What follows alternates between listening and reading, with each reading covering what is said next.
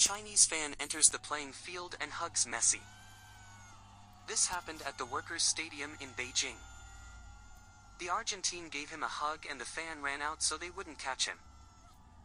10 always causes the admiration of many fans, even Chinese.